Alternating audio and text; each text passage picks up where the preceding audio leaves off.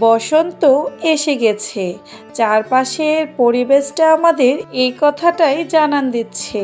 আসসালামু আলাইকুম। আমার কলেজার আপু ভাইয়ারা, কেমন আছেন সবাই? আশা করছি যে যেখান থেকে আমার আজকে ভিডিওটা দেখছেন সবাই ভালো আছেন। আলহামদুলিল্লাহ, আমিও অনেক ভালো আছি।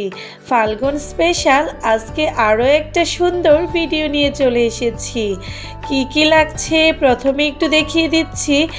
প্রথমে আমার তো ক্লে লাগবে। আমার কাছে যে কালারগুলো ছিল, সেই কালারগুলো নিয়ে নিয়েছি।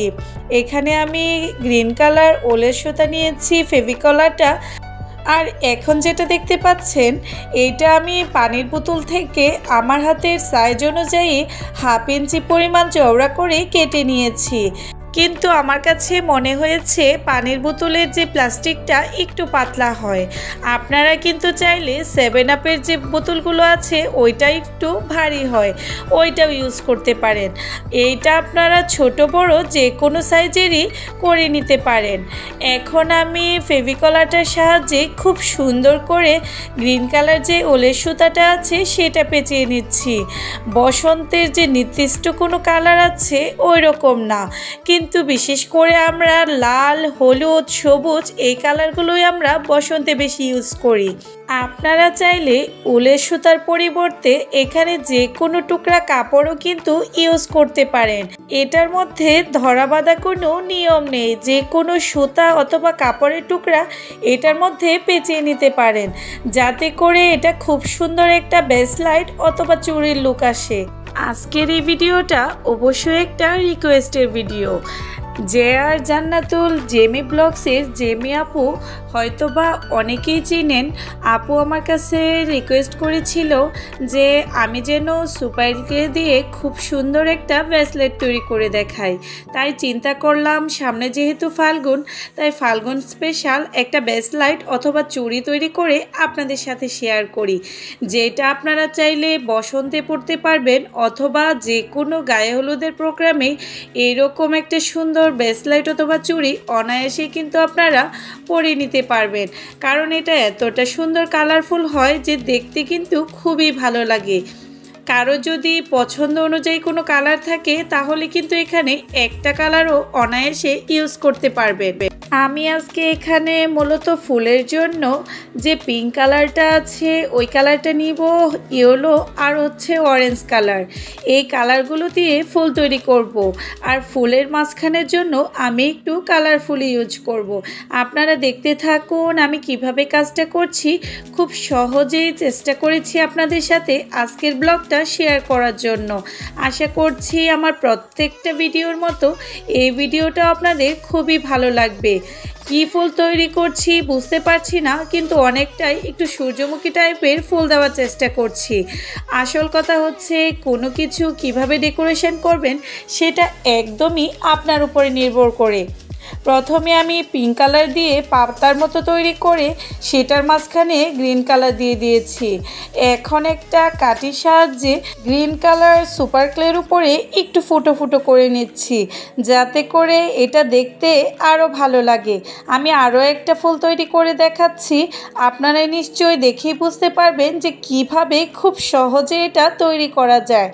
একটু হাতের সাহায্যে ঘষা দিয়ে তারপরে একটু লম্বা পাতার মতো করে চাপ দিলেই সুন্দর সুন্দর পাপড়ির মতো তৈরি হয়ে যাচ্ছে। আপনাদের কাছে আমার ভিডিও কেমন লাগে অবশ্যই কিন্তু আমাকে কমেন্টস করে জানাতে পারেন। আমি চেষ্টা করি আপনাদের পছন্দ অনুযায়ী ভিডিও তৈরি করার জন্য। আর সেটা যদি কোনো রিকোয়েস্টের ভিডিও হয়, তাহলে তো আমার কাছে আরও ভালো লাগে। আপনারা চাইলে আপনাদের কোনো পছন্দ থাকলে সেটা আমাকে কমেন্টস করে জানাতে পারেন। যাতে করে আমি আপনাদের পছন্দ অনুযায়ী ভিডিওগুলো আপনাদের উপহার দিতে পারি। এই দেখতেই পাচ্ছেন আমি আরও একটা ফুল তৈরি করে নিয়েছি। ফুলগুলো কিন্তু খুবই সুন্দর লাগছিল। আর সুপার ক্লে সম্পর্কে কিচ্ছু বলার নেই। এটা নিয়ে যেদিন থেকে কাজ শুরু করেছি, আমি তো এই সুপার ক্লের প্রেমে পড়ে গিয়েছি। কারণ এটাতে কাজ করতে এত ভালো লাগে যে আপনারা যদি না করেন, তাহলে বুঝতেই পারবেন না। আর ইজিলিভাবে আপনি হাতের সাহায্যে অনেক রকম ডিজাইন এই ক্লে দিয়ে করতে পারবেন।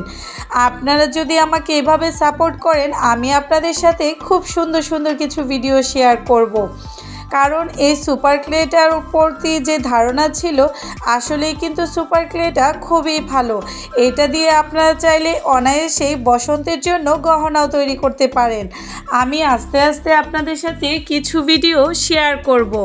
বরাবরের মতো প্রত্যেকটা ভিডিওয়ে যেন আপনাদের ভালো লাগে, আমি সেই অনুযায়ী কাজ করি। কথা বলতে বলতে কিন্তু আমি ইয়েলো কালার দিয়েও কয়েকটা ফুল তৈরি করে নিয়েছি। আর মাঝখানের জন্য আমি অরেঞ্জ কালার দিয়ে ওইগুলো থেকে একটু বড় সাইজের একটা ফুল তৈরি করে নিয়েছি।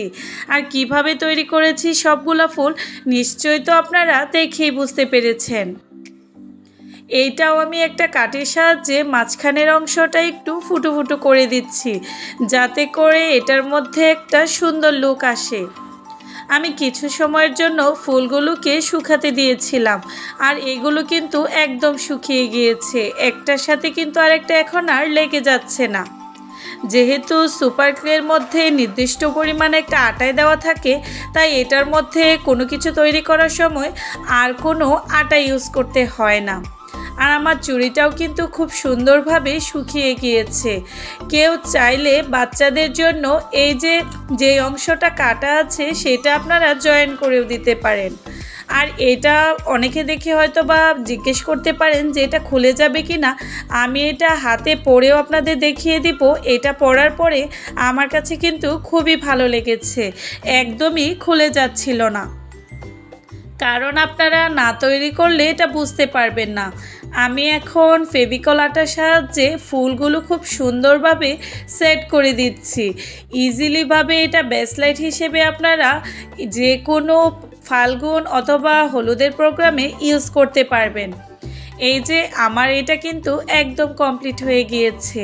মাশাল্লাহ বিশ্বাস করবেন না, প্লাস্টিকের বোতল কেটেও যে এত সুন্দর সুপার ক্লে দিয়ে একটা বেসলাইট অথবা চুড়ি তৈরি করা যায়, সেটা অন্তত আজকের ভিডিওটা না দেখলে বুঝতে পারবেন না। আজকের আইডিয়াটা আপনাদের কেমন লেগেছে সবাই জানাবেন।